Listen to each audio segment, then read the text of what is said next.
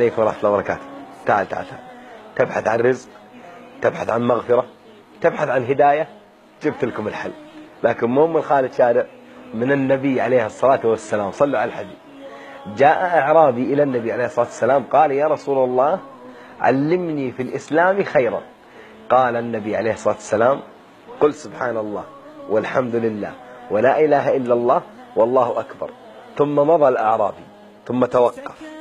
فقال النبي عليه الصلاة والسلام تفكر البائس تفكر البائس. ثم رجع إلى النبي عليه الصلاة والسلام فقال يا رسول الله سبحان الله والحمد لله ولا إله إلا الله والله أكبر هذه لله فماذا لي أنا؟ فماذا لي أنا؟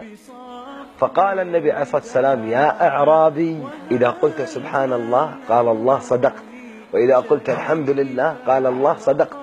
وإذا قلت لا إله إلا الله قال الله صدقت. وإذا قلت الله أكبر قال الله صدقت. ثم قلت بعدهن اللهم اهدني. قال الله قد فعلت. اللهم اغفر لي. قال الله قد فعلت. اللهم ارزقني. قال الله قد فعلت. ثم صرهن الأعرابي سبعا. ثم مضى. يا غالي أنت تبغى الرزق تبغى الهداية تبغى المغفرة من الله.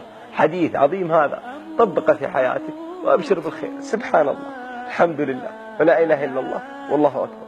ثم قل بعدهن اللهم اغفر لي. اللهم اهدني. اللهم ارزقني. والله ما يأخذ منك شيء يا تاج راسي. لحظة يا تاج راسي. وخذ هذا الحديث الثاني من حديث أبو بكر رضي الله عنه. قال النبي عليه الصلاة والسلام أنا وأنت صاحبين ذنوب صح؟ ونقصر مع ربي صح؟ قال النبي عليه الصلاة والسلام ما من رجل يذنب ذنبا فيتوضأ فيحسن وضوءه ثم يصلي ركعتين ثم يستغفر الله إلا غفر له. أقبل على الله عشان الله يقبل عليك يا غالي.